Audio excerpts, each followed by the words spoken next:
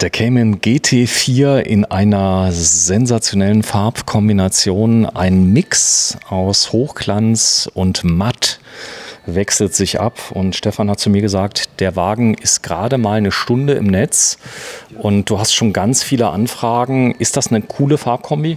Das ist eine durchaus eine coole Farbkombi, ja. Also er ist klassisch ganz schwarz, also sieht auch dementsprechend ein bisschen böser im Auftritt aus äh, und hat dann halt diese Akzentteile in dem Gelb. Ne? Das ist eigentlich schon ganz schön, also innen drin. Ähm, hat auch den großen Sportsitzer da drin, er hat das Clubsportpaket da drin und hat die große Bremsanlage drauf, die Keramikkomposit. Und äh, ja, ist auch sonst von der Ausstattung recht schön. Und das ist übrigens auch kein ähm, Detail, äh, wo man drüber streiten könnte, wenn man das Geld hat und sich so eine Keramikbremsanlage leistet, hat man noch mal mehr Leistung als Porsche eh schon ab Werk anbietet. Denn ich glaube, auch die Originalbremsanlage ist erhaben über allem. Das heißt, also was ist denn der Vorteil von der Carbon? Also von der Keramik. Die hat halt auf Dauer einen besseren Bremspunkt im Endeffekt. Das Ansprechverhalten, wenn die warm ist, die braucht halt Betriebstemperatur. Das ist der einzige, ich sage jetzt mal in Anführungsstrichen, Knackpunkt, äh, den diese Bremsanlage hat. Weil das Auto muss halt bewegt werden und wenn der Betriebstemperatur hat, dann ist das eine Bremse, die ist über jeden Zeit, äh, Zweifel erhaben. Das Fading, heißt, hat die Fading? Nee. Der, der, der, also Fading hat eine Bremse irgendwann immer mal, klar, aber nicht in dem Maß wie eine normale Stahlbremsanlage. Ja. Ne? So, Cayman ähm, Leute, die sich nicht gut auskennen mit Porsche, würden sagen, also mein, mein Sohn würde sagen, das hier ist ein 911. Also von der Form her. Hatte die Formensprache von Porsche, echter Porsche? Ja, also diese Porsche-DNA ist halt überall drin im Endeffekt. Und ich habe jetzt hier nebendran gerade einen Elfer stehen.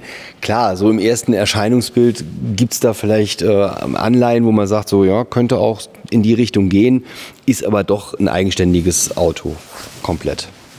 Ja, ich sag nur, denn ähm, es ist ein 911 Schreck, so wird er von vielen Leuten, die gut fahren können, auch verkauft. Profi-Rennfahrer lieben dieses Auto, weil die Gewichtsverteilung ähm, sehr, sehr ausgewogen ist. Du hast, glaube ich, Vorder-, Hinterachse 50-50, nahezu identisch.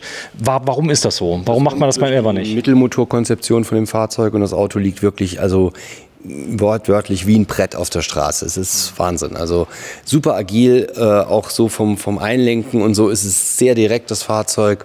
Und es macht richtig Spaß. Das sieht man auch auf Track Days, wo Leute sich ja im Endeffekt ja auch leisten könnten, mit dem Elfer rumzufahren. Und die tun es dann trotzdem im GT4, einfach weil er ja, schärfer reagiert, ne? weil er halt wirklich äh, ja, skalpellartig fährt. Das heißt, er, er, er setzt alles exakt um? Genau, er setzt alles exakt um und kann das auch. Ne? Ist die Lenkung elektrisch schon eigentlich oder ist da noch eine Verbindung nach vorne? Weißt du das? Nee, das ist, mich, also das ist noch mechanisch, das Ganze. Okay, wahrscheinlich unterstützt. Ja, GT4. So, ich, ähm, du, ich habe ja keine Ahnung. Es ist ja so, ähm, wenn ich hier so ein Auto kaufe, es gibt ja eine riesen Fangemeinde Cayman, also ja. gerade GT4, es gibt keine mehr. Also so viel kann man sagen. Also der, ähm, die Nachfrage ist unter anderem deswegen so groß, weil Porsche den Vertrieb von dem GT4 eingestellt hat zugunsten von was? Von dem RS. Also GT4 RS ist jetzt praktisch der Nachfolger, der uns aber dann halt in homöopathischen Mengen halt nur zugeteilt wird. Und da gibt es halt viele Fahrzeuge von dem RS. Und der RS ist auch wirklich ein absoluter Racer. Also das ist jetzt hier in dem Bereich mit dem GT4 kann ich jetzt auch noch Brötchen kaufen gehen.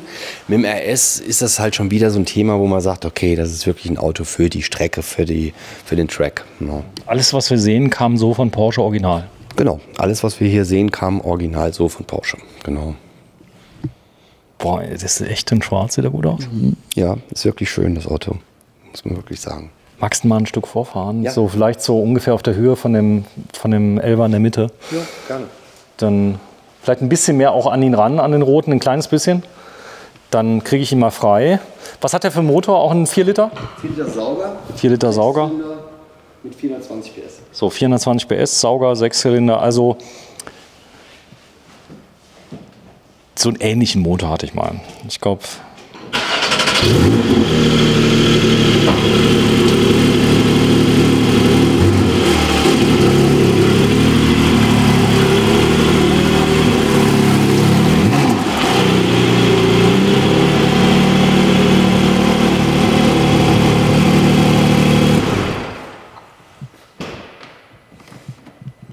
Boah, war das ein Auftritt. Darf ich dir mal ein Kompliment machen, Stefan? Du, du und das Auto, ihr passt gut zusammen. Finde ich auch, sagt Komm mal gerade zu mir. Guck mal hier durch die Kamera durch und ich meine, nichts gegen den gelben, den wir eben gefilmt haben, aber sieht das nicht aus wie original, ähm, wie, wie heißt das eine Rennspiel, äh, GTA? Gran Turismo, GTA, ja, da gibt es ja vieles in der Richtung, aber das ist wirklich, das passt, das Auto. Das ist, dafür ist das geschaffen, für sowas. Ne? Das ist wirklich toll. Also, weil bei Schwarz kommen auch so die Konturen irgendwie, finde ich, noch besser raus. Also sieht auch echt böse aus, das Auto. Und hat einen Mod-Sound. Habt ihr viele Frauen, die kaufen? Äh, in dem Bereich eigentlich weniger. Also Warum ist das auch, so? aber ja, also, vielleicht ist weil es halt nicht so komfortorientiert ist, wie auch ein Porsche sein kann. Also es ist halt hier einfach anders. Das ist halt wirklich Motorsport. Es gibt ja keinen äh, GT4 mit ähm, Aufstelldach, oder? Nee, nee, also das ist eine Option, die es bei dem Auto nicht gibt. Okay, ich frage nur, weil ich hatte bisher keins gesehen und dachte mir immer, vielleicht haben sie es rauskonfiguriert oder so. Mhm, also die Alternative wäre dann halt ein Boxer, da kann ich das ganze Dach dann halt dementsprechend runter machen, aber Cayman gibt es nicht mit Schiebedach. Okay, bedeutet, also ich habe hier ein Mittelmotorkonzept. Mhm. Ähm, ich habe Heckantrieb, Genau. Ich habe alle Steuerungsmechanismen, die ich auch im 911 kriege. Das ja. heißt also ja. Spurstabilität, genau. Äh, Abstandstempomat, gibt es sowas? Gibt es auch, ähm, Abstandsregeltempomat. Äh, was er jetzt hier nicht hätte, jetzt im Vergleich zum Porsche, ist InnoDrive zum Beispiel. Also InnoDrive, was ist das? InnoDrive ist praktisch nochmal ähm, ein, ein, Tempomat, der praktisch dann inklusive Kartografie reagiert. So, ne? im also, Voraus. Genau, wo im Voraus dann schaut, was dann halt für Beschränkungen kommen. Das hätte er jetzt halt hier in dem Fall nicht. Aber ansonsten ist das Auto halt ja, Porsche-like aufgesetzt.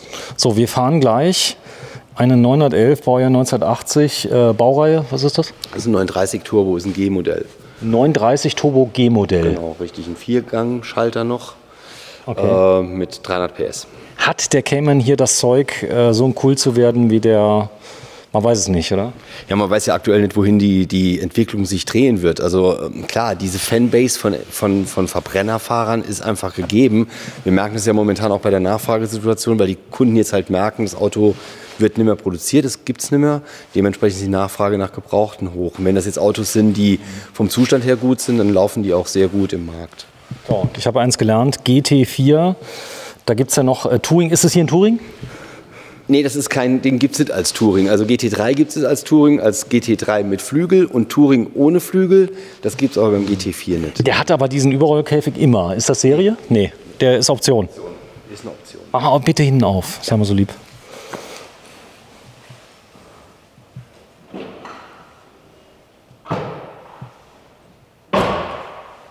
So, und das heißt, der Spoiler hat zwei Spoiler. Ich hatte eben an dem gelben, konntest du viele Sachen viel besser sehen. Ja, das kann man hier jetzt ja nicht, nicht so direkt. Aber das ist hier auch wieder Wasser und Öl zum Nachfüllen, diese zwei Deckel hier rechts, links. Und das ist alles. Ja. ja, das ist alles. Und ansonsten vom Motor siehst du halt jetzt hier nicht viel. So, du hast Stauraum, du kannst flache Sachen hier hinlegen. Hier hinten kannst du Kofferpaket genau. oder Sachen mitnehmen. Ist jetzt vielleicht nicht der beste Umzugswagen, aber dafür ist er auch nicht gebaut. Das ja. ist die Konzeption. Also Umzugswagen gibt es ja Kastenfahrzeuge. Gibt es ja andere Autos für. Ne? Ist das ein Auto, kann ich das im Alltag als Alltagsauto? Es gibt sicherlich Kunden, die das machen und den als Daily Driver fahren. Aber die Regel ist, ja, vielleicht ist er dann dafür doch zu spitz konfiguriert. Also, ne? was, was denkst du, ähm, ist das hier eine Wertanlage unter anderem, so ein GT4? Gehe ich fest von aus. Also davon gehe ich fest aus, weil das Auto halt nicht stagniert. Momentan zeigt der einzige Weg nach oben, also vom Preis, von der Preisspirale, weil halt einfach auch relativ wenige Autos im Markt sind. Das ist jetzt nicht so, äh, dass das Auto häufig vorhanden ist. Sag mal, ihr seid ja jetzt Porsche-Zentrum, ihr könntet doch einfach sagen, hier komm, äh, wir bestellen noch mal 100 Stück. Äh, wo, wo ist denn das Problem gewesen? Wir würden sie A nicht bekommen und B würden sie nicht mehr produziert werden. Also es ist einfach also selbst äh, die waren sowieso, die wurden zugeteilt, kann man das sagen? Ja, also es gab Quotenvergabe von Porsche, es ist immer eine Quotenvergabe und wenn die Quoten vergeben sind, dann gibt es halt keine Autos mehr und die waren halt auch beschränkt. Es gab also jetzt nicht unermesslich viele Quoten von GT4s. Also ich muss das nur verstehen. Ich komme ja, also die Porsche-Liebhaber, wenn sie sich jetzt totlachen, werden sagen, wissen wir doch schon alle, es gibt Quoten, die Autos gibt es kaum und das hier ist ein extrem rares Produkt, oder? Ja, auf jeden Fall. Also wie gesagt, es spiegelt natürlich auch die Nachfrage immer wieder. Ne? Und Ähm, die Preise kommen ja auch von irgendwo her. Wenn ich sehe, das Auto kostet jetzt äh, knapp 145.000 Euro, das ist ja schon eine Hausnummer. 149.900. Ja, genau, richtig. Also knapp 100, 150. Ähm, das ist ja schon eine Hausnummer. Also den hätte ich auch vielleicht noch so konfigurieren können, wenn es ihn noch gäbe. Es gibt ihn aber halt nicht mehr. Ne? Und deshalb zahlen wir auch schon im Einstand recht viel Geld für die Fahrzeuge. So, bedeutet, der hat jetzt, was hat der für ein Baujahr? Ich gucke mal gerade. Das ist ein 14.06.22. Das heißt, ähm, der hat noch über ein Jahr, der hat äh, zwei Jahre Werksgarantie, wenn er kommt. Genau, genau, wenn, Stefan, wenn du kurz zu mir kommst, sei mal so nett dass wir ihn nochmal schauen von der Form. Ähm, es gibt keine Notsitze, oder? Hier bei dem? Nee. Nee, weil er hat ja, ist ein reiner Zweisitzer, so ein Cayman und auch der Boxster auch, weil danach direkt halt die Spritzwand kommt für den, äh, für den Motor.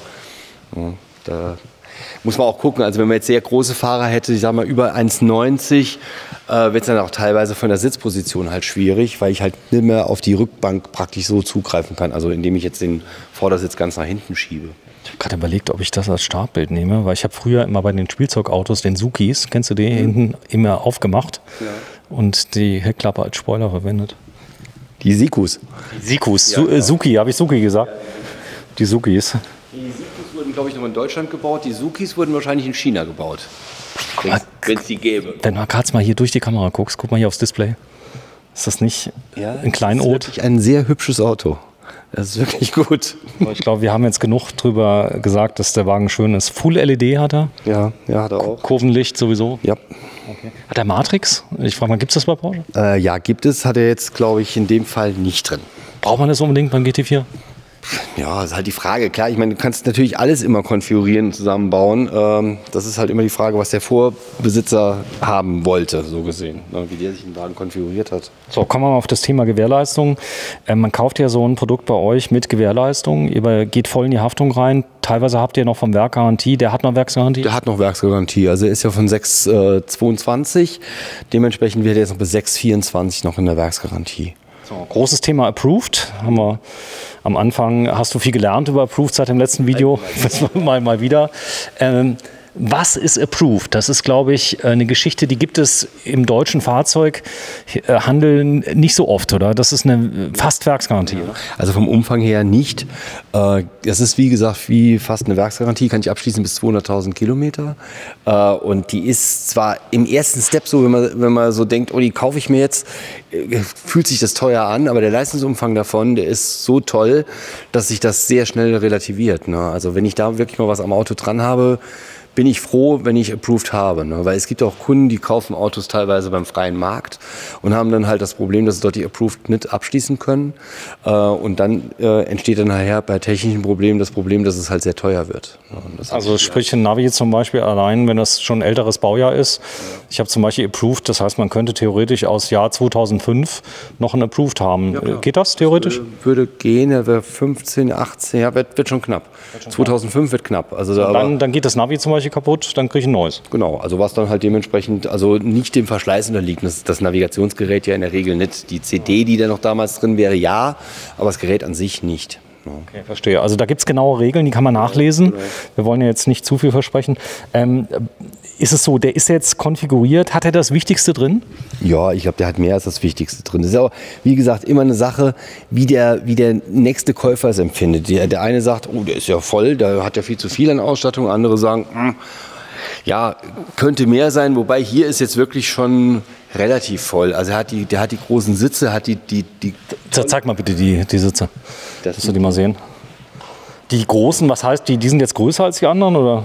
Die haben halt im Endeffekt halt hier mehr Motorsport-Attribute. Das ist halt jetzt im Endeffekt hier Sichtcarbon, dann habe ich hier die elektrische Sitzhöhenverstellung.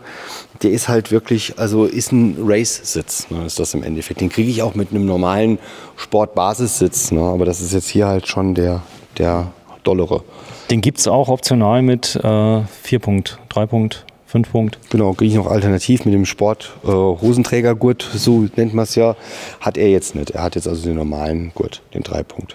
Wie kommen wir da rein? Einfach reinsetzen. Einfach reinsetzen, einfach wieder raussteigen. Mach mal. Schön Hier, mal. Da, ja. ja. Du bist 1,90 Meter 90 fast. Aber fällt schon ein bisschen tief, oder? Ja, fällt halt in, in Sportwagen. Die Höhle. Das, was ich cool finde, ist, du kommst wenigstens rein in das Auto. Das heißt, die äh, Türen öffnen weit. Ja. Ähm, du äh, kommst auch relativ komfortabel rein und raus. Ist das ein Argument manchmal bei Kunden, die probieren, ob sie reinkommen? Ja, teilweise schon. Ich meine, klar, man sollte jetzt nicht äh, völlig. Äh es gibt ja andere Sportwagen, ähm, ich will da jetzt kein Land nennen, wo die herkommen, wo die Leute echte Probleme haben. A, von der Länge. Das ist ja, glaube ich, bei Porsche immer so ein Thema. Ich glaube, bis fast zwei Meter geht jeder Porsche, oder? Passt normalerweise, ja. ja. ja also selbst wenn man jetzt so, so, größere Personen hat. Hier ist, wie gesagt, hier ist die Reglementierung nur durch diese Spritzwand, die ich hinten habe, hinterm Sitz, dass man dann vielleicht den Sitz nicht weit genug nach hinten bekommt. Aber ich sitze jetzt hier einwandfrei. Also für mich ist das überhaupt kein Problem, weil ich auch vom Fußraum genügend Platz habe. Was, was kann ich an dem Sitz einstellen in der Werkstatt? Also ich kann jetzt hier eigentlich nur im ersten Step hier die Höhe verstellen. Damit äh, ändert sich auch die Neigung vom Sitz. Ne? Der ja. ist also dann diagonal laufend und ansonsten war es das. War's das. Äh, könnt ihr in der Werkstatt noch was einstellen oder ist der fix? Der Schalensitz? Ist fix. Der hat hier seitlich noch diese, diese Aufnahmepunkte, wo ich ihn immer verstellen kann. Kriege ich aber hier jetzt so nicht hin. Und wie, wie ist das Feeling da drin? Super. Handschuh? Oder? Ja, also ist wirklich, also er ist nicht zu einengt, das ist aber auch immer abhängig von der Körperstatur. Äh, aber das ist wunderbar.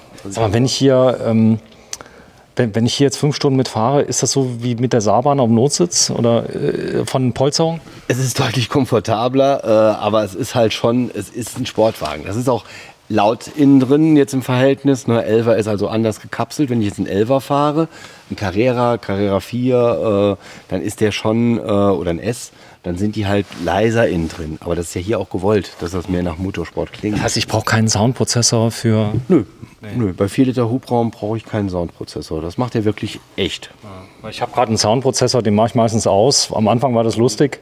Aber ähm, das heißt, alle Geräusche, die hier rauskommen, sind echt. Das sind Geräusche, die er auch wirklich macht, ja. Schon. Steig mal aus. Warte kurz. Ich das mal filmen. So, der Beweis, 1,90 Meter, kein Problem. Denn viele fragen sich, komme ich da rein? Es gibt ja immer, Leute werden immer größer, sieht man ja bei dir. Ja. Werden auch kleiner, auch kleine Leute passen rein? Auch das, ja. Ich kann den Sitz ja, wie gesagt, weiter nach vorne verbringen. Also das ist kein Problem. So, dann zeigen wir mal bitte deinen Arbeitsbereich. Ich weiß gar nicht, warum wir jetzt so ein langes Video machen, weil wahrscheinlich wirst du mich gleich anrufen und sagen, äh, bitte reinschreiben, verkauft. Das ist schon ja, die Möglichkeit besteht natürlich. Aber fragt am besten nochmal an, also wenn ihr das Video seht, äh, du kriegst ja laufend Autos rein. Äh, kriegst du GT4s schon mal ab und zu? Ja, wie gesagt, da ist jetzt einer. Also den haben wir jetzt äh, bekommen Anfang der Woche. Dann wird er einmal aufbereitet, wird vom Gutachter begutachtet im Vorfeld. Und dann ist er relativ schnell in der Ausstattung, äh, in, der, in der Ausstellung. Ne? ich glaube, in der Aufbereitung steht noch einer, oder? Ja, wir haben noch einen im, Zulauf. Aber das Thema ist halt immer, äh, die meisten Autos jetzt, der da, wie gesagt, hat 6800 Kilometer. Ist das viel? Für, für ein Auto ist das so gesehen recht wenig. Ich meine, es ist natürlich immer die Frage, wenn ich jetzt äh, 7000 Kilometer rein auf Rennstrecke gefahren wäre. Das könnt ihr aber sehen. Ihr könnt das sehen. Wir sehen, ja, ja, klar, logisch. Aber bei ihm ist jetzt nicht so, dass er jetzt großartig jetzt äh, Kampfspuren hat. Nein. Also irgendwelche Überdreher oder alles, das würdet ihr sehen beim das Zurückschalten. das würden wir auslesen, genau, ah, okay. richtig. Das ist so. Ähm, das Ganze ist ein System, das muss man verstehen bei Porsche. Porsche baut Autos ja als ein Gesamtkunstwerk. Das heißt, wenn die kommen, sind die perfekt aufeinander abgestimmt. Das ist auch der Grund, warum die Approved-Garantie, und du kannst mich korrigieren, nur dann gilt, wenn der Porsche zu 100% original ist. Genau. Also ich kann, ich kann da schon noch was machen an dem Fahrzeug, aber es ist halt so, dass es ein ganz engen Korsett ist. Es muss auch im Endeffekt dann von Porsche abgesegnet oder vertrieben werden oder beides im, im Optimalfall. Das heißt, wenn ich jetzt hingehe und habe jetzt, bei dem Auto wäre das jetzt nicht der Fall, aber wenn ich jetzt einen 911er hätte ohne Klappenauspuff, und ich sage, ich hätte jetzt gerne aber den Klappenauspuff, wo ich dann halt wirklich über Klappe steuern kann, über Knopfdruck äh, oder hier über, über meinen äh, Drehknopf, ähm, wo ich einstellen kann, dass der Wagen jetzt äh, Klappensteuerung hat, dann kann ich mir das bei Porsche nachrüsten lassen. Das geht. Das da hat er auch wieder. Okay. Wenn ich das aber jetzt von einem Zubehörhersteller mache, ähm, da gibt es ja mehrere, äh, dann ist es halt nicht mehr approved-fähig. So, ihr seid ja eine Originalwerkstatt, äh, zugelassener Porsche Vertragshändler, Kategorie 4 sogar. Mhm. Das Ganze auch nicht erst seit gestern, sondern ihr seid länger. länger. Äh, das bedeutet, all das kriege ich mit dazu. Ich bekomme das Auto mit voller Garantie, mit Einweisungen, mit so. Und du sagst, der steht eigentlich, wie er hier steht, einem neuen in nichts nach.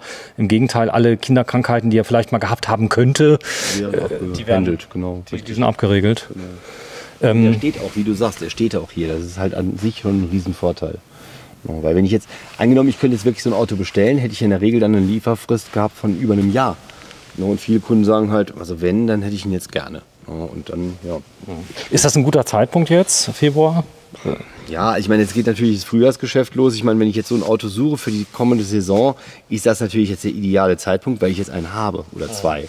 Wenn es jetzt nachher dann so ist, dass die Nachfragesituation anzieht, und das ist dann immer schlagartig, sobald die Sonne rauskommt und es ist irgendwie 17, 18 Grad. Ist das immer noch so? Total. Ja. ja bei Porsche ganz extrem.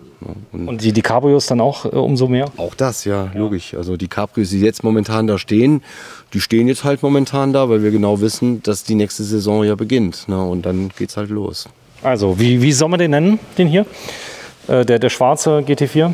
Schwarze GT4. Der schwarze GT4. Genau. Am 28. Februar 2023. Heute übrigens ein, was haben wir heute? Montag? Ja, nicht ganz. Nicht ganz. Dienstag. Dienstag. So, am Dienstag. Morgen ist übrigens 1. März ja. und es geht dann langsam los.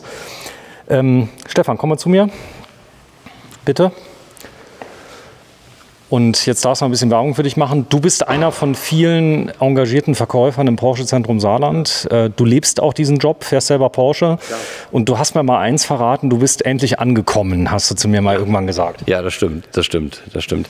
Ich habe lange woanders gearbeitet, wie wir beide wissen, auch mit Einsatz und Freude. Aber das ist jetzt natürlich das, äh, ja, da gibt es jetzt, glaube ich, keine Steigerung mehr. Nee, nicht glaube ich, es gibt keine Steigerung mehr. Also es ist definitiv. Ist das Thema Schulung bei Porsche gut? Fährt ihr gut? Ja, ja, ja. ja, ja. Wir werden also oft geschult und das auch über längere Zeit. Aber es ist halt auch vom, vom Themenkomplex ist es halt schon umfangreich bei Porsche, ne?